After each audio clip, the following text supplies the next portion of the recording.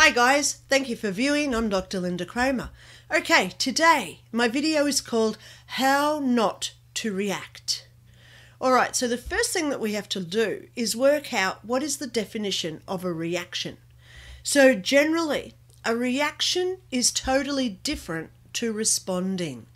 Those two words, reacting and responding.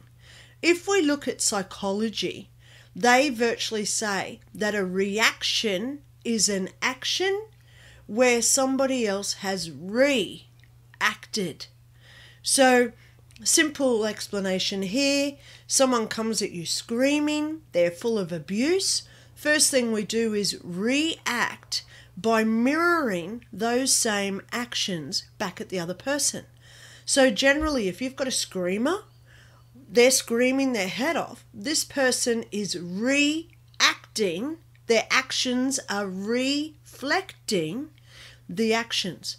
So, they generally start screaming and the abuse builds, yes? When we respond in psychology, it means that we're using logic, that we're using our critical thinking, and that we're actually analyzing or assessing the situation. So then we come to a conclusion based on facts and evidence where we demonstrate that we do not have an emotional attachment to what has happened. Okay?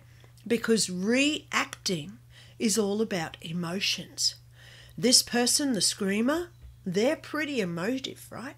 They've got all this emotion of it could be anger, could be fear, it could be um, some sort of impatience where they're so angry about something. So this other person picks up on that emotion and they reflect or react that same stuff back at them. Okay? So, how do we not react? It's actually quite simple, but it takes a lot of practice and it takes a lot of work on our own behalf to look inside ourselves and to analyze our own behaviors to see if this is something that we're doing. So, I'm going to go through a couple of scenarios today about things that have just happened to me in the last week where I had the option to react or respond. so the first one, only yesterday, I live in what's called the most colourful street in my suburb. Now, if you know what the word colourful means, it's nothing to do with skin colour, race, or religion. It means that there is a lot of police action, people known to police in my street. So, yesterday I'm sitting out the back having a chat with, on the phone and there's a knock at my front door from one of these colourful neighbours. She's I answered the door, I opened it up and I said, What's going on? And she's really upset. She said, My God, my toilet's overflowed, my whole house is full of water. Now, instantly, I said, I'll come over and help. So I've run over, and sure enough, the whole house is about three inches deep of water. First thing that went through my head was, oh my God, there's electricity cables, there's um, power points. So I said to her, Have you turned off the power? She said, No. So I've run around the side and I've switched off every switch on the mains because I'm not an electrician. I don't really know what I'm doing, but I just made sure everything was off. Then I've come inside and I said, okay, show me what's happening. She took me into her bathroom and there's a little pipe that leads to the toilet, which is the water coming in to fill up the cistern. And there was a hole in it, and I swear water was going four foot high in the in the bathroom. It was like a volcano of water gushing out of a toilet. And I was thinking, oh my god, we've got to turn off the water. I don't know how to do that. I'm not a plumber. I'm not an electrician. I don't know what to do. So I thought, I'll ring another neighbour who's a male, see if he knows what to do. So I've run home and I grabbed two things Do you think what do you think I grabbed? One was my phone and the other was my big industrial broom. So as I'm going back over to the house, I'm on the phone to this other neighbour who I knew was home. and I said, darling, um, can you come out and turn off the mains? So he's come out and he turned off the water supply. Then he went home.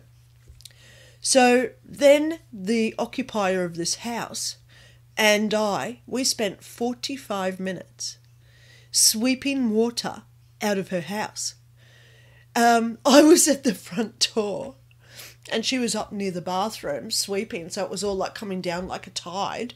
And I'm sweeping all this water out of her house, causing a flood going down her driveway. I reckon there would have been about 500 litres of water that went down the street yesterday. So when we got it to the point where you really couldn't sweep it anymore, it was now a job for towels and other things. I said, Look, I've got to go because I've got to go and get my daughter from school. So I went and got in the car, making sure that she was all right. And I sat back and I assessed what had happened. And I thought, do I like those neighbours? They're not friends of mine. I don't generally agree with their behaviours, but I allow them to be who they are, for they are human. They deserve a right to live. Exactly right. Yes, please agree with that. And then I had this instant epiphany. And I thought, was there a moment when I saw her at the door, was there an instant where I thought, oh my God, don't get involved? Was there a thought where I thought, don't go? Was there a thought where I said to myself, oh my God, why would I help you? Judging her for who she was. And I sat there as I'm driving to school and I thought, I didn't even flinch. It was instantaneous where I said, I'm coming over to help. There was no negative at all with my intentions. Pardon me. Because I've just said the psychology of this.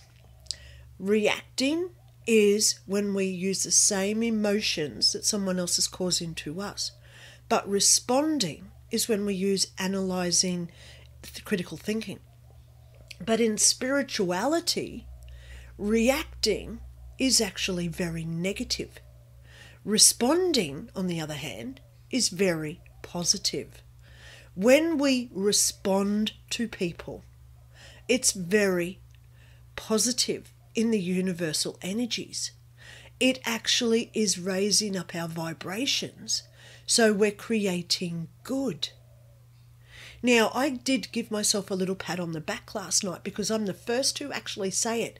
When we do a good job, we always give ourselves that recognition. It doesn't matter who else we tell it to, but as long as we say to you ourselves, you know what, Lynda, I am so proud that you went and helped her yesterday. She was distressed, she was upset, she was scared. And you went over and helped her. So you calmed her down, you gave her that comfort, that support regardless of who she was. So I gave myself that little heads up yesterday because that's how we build our self pride. That's how we acknowledge our self confidence. That's also how we realize that we love ourselves for the actions that we do to others. So I know yesterday was a test for me. That was a test where I was put into that situation because why did she come to my house? That is a very big, important question. We live in the middle of a street and there's probably 10 other houses that she could have run to. Why mine? When we don't even really know each other that well. Why was I chosen to be the one to help her yesterday? Hmm. So I was put into that situation like a synchronicity where I was being tested I was given an opportunity to recognize if I was learning a valuable lesson yesterday. not in how to react, where I would have judged her, where I would have criticized and said, Oh, you're below me. There was none of that yesterday. It was an instant, I'm there for you. There was nothing where I reacted to what they've done in the past. So, second situation. I was driving behind this man last week. He was a driver in a vehicle, and I was on the road behind him. It was two lanes, and we were both in the right lane.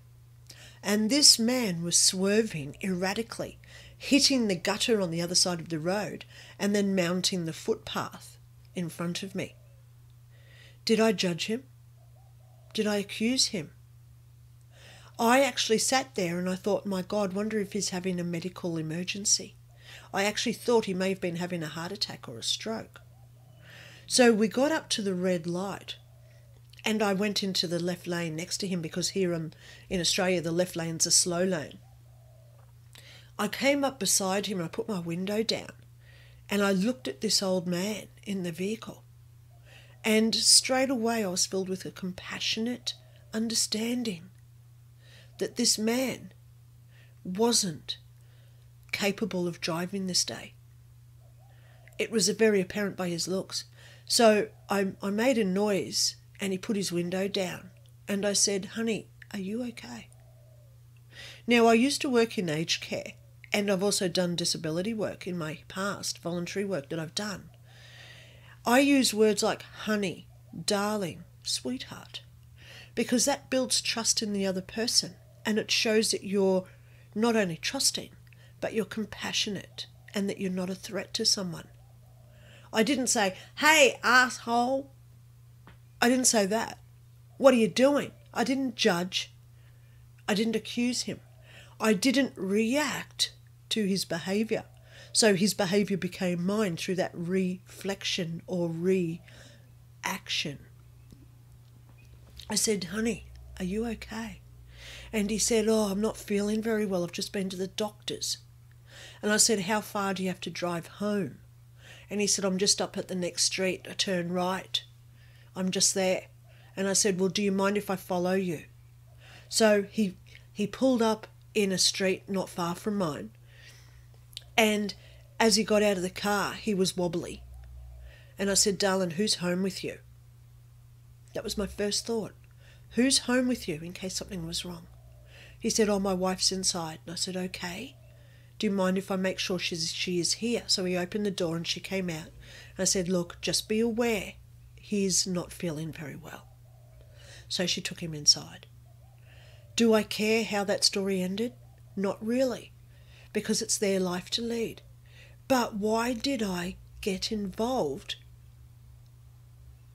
Because it shows that I'm a caring and understanding person. I didn't attack. I didn't abuse. I didn't react to his behavior. I analyzed it through critical thinking thinking of all the possibilities like we do when we analyze something, collecting data, and it could be that option, that option, that option. He could have been a drunk driver, but I doubt he was, only because of the way he was talking. So we don't generally have to react, guys. That's the main message today. We don't have to judge or instantly assume why someone else is doing something else. Because all we do when we react is that we're showing our own negative behaviors. Let's go there. Social media. Let's go Instagram, Snapchat, Facebook, Telegram if you're on there, all these other places. How often do we see comments now where some person who's never even met the other attacks them for something that they've posted.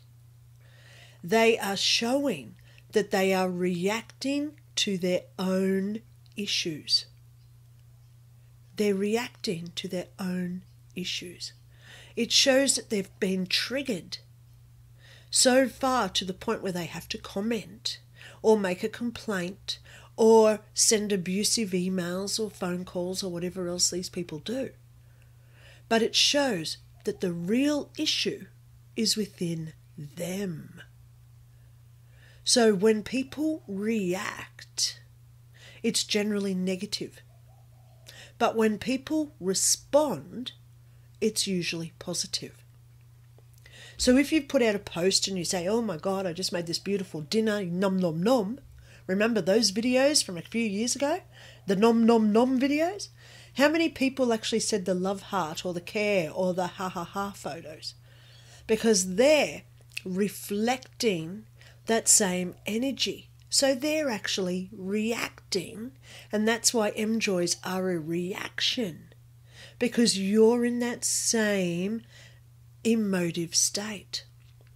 So, what that actually means is that you're at the same frequency as the person who posted that comment.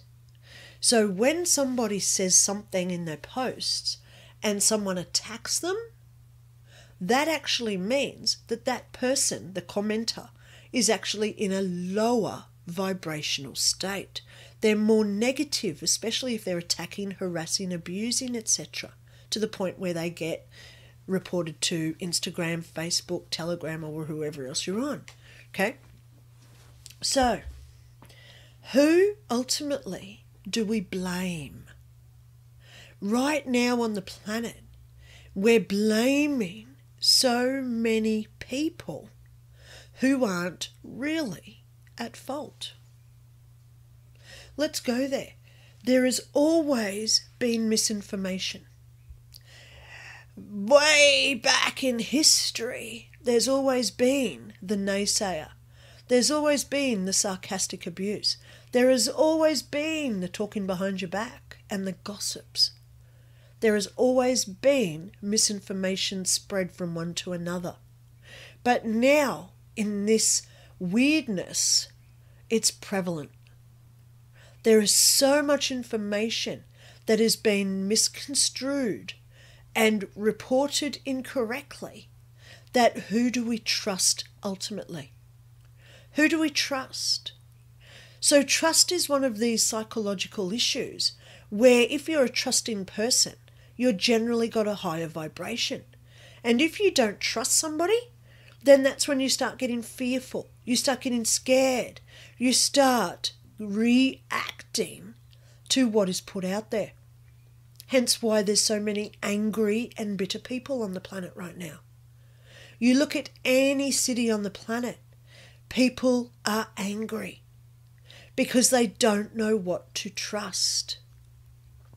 So it's when we use reaction as opposed to responding when we respond, we sit there and we use critical thinking, we analyze, we research. And that's why now these keyboard warriors that are out there, they're coming out with so much good stuff because there's so many lies through that misinformation of the gossiping and the backhanded deals and all the other behind your back stuff that's going on at the moment. So, why do we blame someone else when it's not really their fault? Because it shows what we hold on the inside. If we blame others so quickly, it actually represents that we're actually blaming ourselves instead of that other person.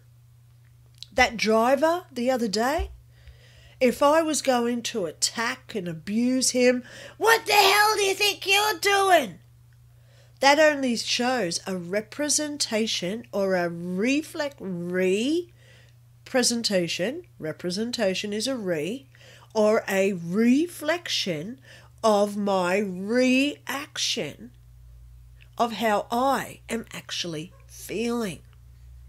So, next time you're going to attack somebody, Next time you're going to abuse a neighbour, next time that you're going to say anything negative or detrimental about somebody else, think is this really about the other person?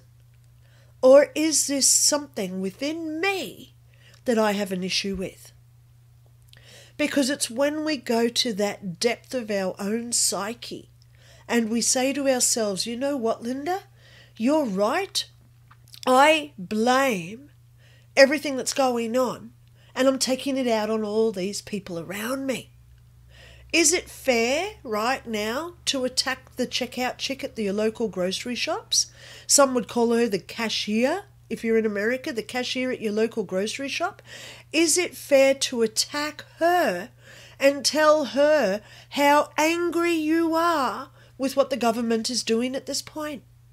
She's just trying to do her best in a given situation to make money to pay her bills and to put food on her table. So, what's the purpose of reacting to her when there's nothing she can do about this? She can't change what's happening all over the world. So, why put your energy into creating that negativity ball that you're inflicting onto her? Because then she will likely create her own negativity ball where she goes home to her family that night. I got attacked today. Oh, this person said all this bad stuff about me. So she's creating, generating all that energy that's now reflecting, reacting to her own family. Is that fair to create that? You know, the world needs a wake up call. The world absolutely needs a wake up call. Stop attacking people. Stop being offended by what your politicians are doing because they're the puppets. They're only being told what to say on the media. They're not the root cause of what's going on. So, if you do get angry about all this stuff, go and do your own research. And don't attack the persons who are out there trying to get all this misinformation cleared up so the truth comes out. Because at the end of the day, only those who stand up are the ones who everybody else will most likely not thank when something good comes in the future. Pardon me. I want to tell you a story. Remember I said that there was three stories? The last one I want to talk about today is Noah. Remember Noah?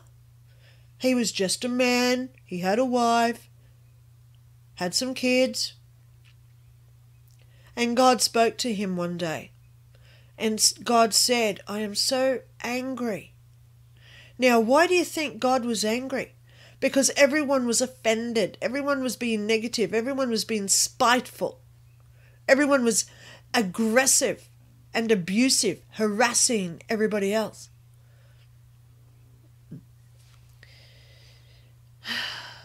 Noah. Did he react to all those insults, abuse, and attacks that he was getting? No. He didn't. He responded. He sat there and analyzed. And at the end of the day, he said to himself, Do I want to be the reflection of those other people? No, he didn't. He wanted to be a good, trusting, honest man. He didn't want to backstab, talk about others behind their back, or gossip about them. He probably did have a little chat or two to those animals that were coming on. I could imagine the conversations that he had. But he did not allow their energy to take over who he was, correct? So, when we react, we allow the other person or entity's energy to not only fill us so we become them, it also makes us be that other person. This is pure spiritualism 101. Reflection. So have a look at who you associate with, guys. Who do you talk with? Now, note I just said with, because talking with is different to talking to someone. Who do you talk with? And what are they saying? Because generally we're only reacting to what they've told us because our energies are aligned. So today is a wake up call, guys. The world is going down the toilet. do you want to be in that flush? Or do you want to be sitting on the bowl, looking to the sky and saying, Thank you so much for allowing me to realize who I am? Thank you so much for allowing me to react instead of responding. Thank you so much for giving me the opportunity where I was tested to see if I was going to lower myself to the vibrational energy frequencies of everyone else around me. Or was I going to pick myself up, showing my own self worth, my own self value, and most of all, my own self love, where I could actually look at these people in the face and say, I do not judge or accuse you, for I understand your situation. You're scared. You've got fears. You don't know who to trust. So let's allow this to unfold where we do not get energetically attached to it through that reflection, which is a reaction. And then we sit there at the end of the day with our heads high, knowing that we did the best job we could do given the situation that we're in. We don't have to bring everybody else down to our standards. We really don't. So, get to the real core of what's going on within you guys. Because at the end of the day, when we judge and we accuse somebody else, we're actually accusing ourselves of something that we don't want to face within ourselves. So we see it in someone else through that reflection, which is a reaction. We take it out on them when the only person that we should be analyzing, the only person that we should be accusing, the only person that we should be judging is ourselves. Do I want to be the same person tomorrow who I was yesterday? And if the answer is no, this is your wake up call to do something about it. Stop your bickering. Stop your accusations. Stop your judging people. Stop attacking people. And say to yourself, if I'm attacking them, I am really attacking myself for my situation. And what am I doing about that? Because that's how we stand firm. That's how we get our own inner strength. That is how we build our own self confidence to make tomorrow a better day than it was yesterday. We don't pay attention to what's going on because the more we put energy into what other people do, the more we become it. So the video today was going to be how to create the reality we want through that reflection in our thoughts. But I know now by that instance yesterday where I gave that woman no hesitation to help her. I passed a test and I'm damn proud that I helped her out. How many of you can seriously sit there and say, Oh my God, Lynda's boasting? Because I'm not boasting. I am giving you the opportunity to reflect of what I am. The more negative you put out there on social media, the more you're creating that negativity within yourself. And how dare you say that you're a religious person if you do that? How dare you say you're a spiritual person if you do these actions? How dare you say, I'm going to criticize this person, I'm going to attack them on social media, and I'm going to go home and say, oh, yes, I'm such a good person, I'm spiritual, I'm religious. What a hypocrite. So at the end of the day, wake up to yourself, guys, because I'd say nine out of 10 people on the planet right now are hypocrites. Nine out of 10 are hypocrites on this planet. And it's now the time to work out what we are doing Because the more we allow these people in authority to do what they're doing, the more they come into us. And we attach to that energy and we create it for them. So we shut it down. We shut it down. We don't react. We respond. We respond. And many times, guys, the best response is silence. If someone attacks you, don't reply. Because you're not getting into that energetic frequency that they are trying to inflict on you. You let them decide for themselves under free will if they want to be a nasty, critical, sarcastic gossiper, abuser, attacker. Do you want to be one of those? Because I'd say at this point on the planet, nine out of ten people are. And look what happened to Noah.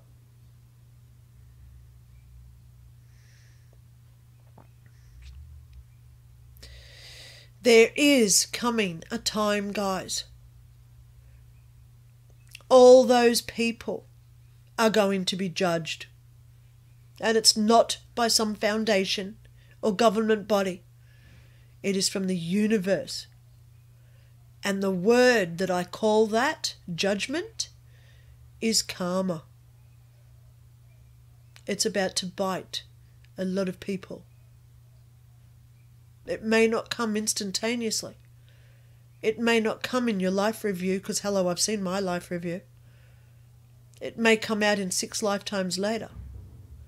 But what is happening right now? I dare to say the words but she's telling me, say the words, Lynda. You know my girl that's always with me? She's she's virtually going, tell the words, Lynda. Divine retribution. Look it up. Because it's coming. I am a psychic medium. I am an NDE. I have this woman who gives me messages. I know she's an angel because I've seen her many times. I've also seen angels in my house with wings. Six people saw them one night. There was wings in my house from angels. I know they're on my side here. They want this message out there. So which side of the fence are you going to, guys? Because very soon that fence will no longer be there.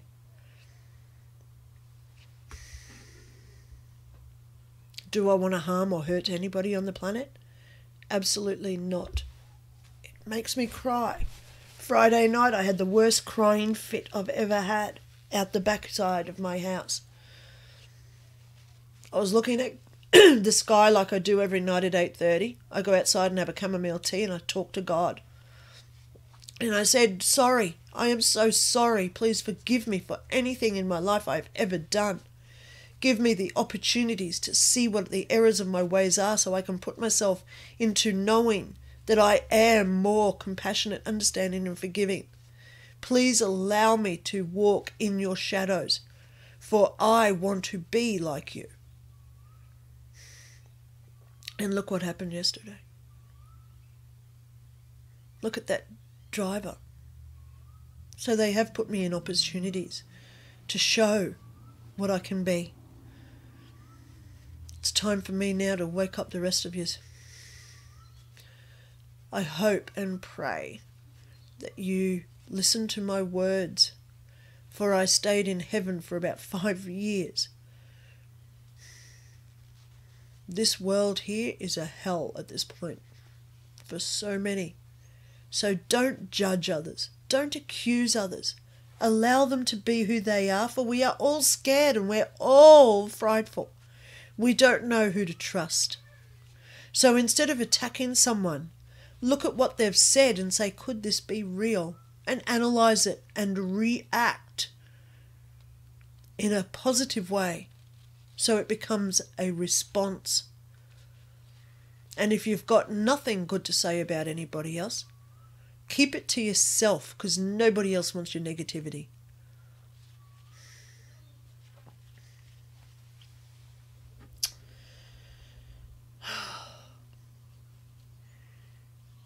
At the end of the day, guys, where do you want to be on the fence? Positive or negative? Because the decision is coming fast. It's a warning. I'm hearing it. You know, people ask me all the times about what happened when I died.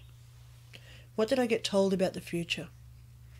She told me I'd work with the police for 10 years, I did. She told me I'd be a first aid trainer for two years, I did. She told me the date to conceive my daughter. Thank God I remembered the date because now I've got Tashi. she told me what's coming in two years. I know what's coming in 2023. I hope I'm wrong. Because it's those making foolish indecisions who are reacting and trusting the wrong people. They're about to regret their thoughts and actions. So try and stay positive, guys. Raise your vibration if you want to be a better person. It's now time to stand proud and swear it from your inside out like a beam of electricity coming out of you. I want to be free. I want to be loved. I want to be acknowledged, recognized, and rewarded. And the only person who can ever give us those compensations is ourselves. It all starts in here. Hope you have a good day, guys. I need a coffee. If you like this, please like it. If you've got a comment, please put it below. I respond to a lot of my comments. Email me at lynda at lyndarae.info. I can handle the truth, good or bad. If you want to attack me, have a look at why you got offended. Why did you have to react? Think I've said enough. So, on that note, please know I love you all. I want the best for everybody on the planet. At the end of the day, we all deserve the best, right? For we are all equal, and ultimately we are all one. So have a good day, guys. Talk soon. Bye.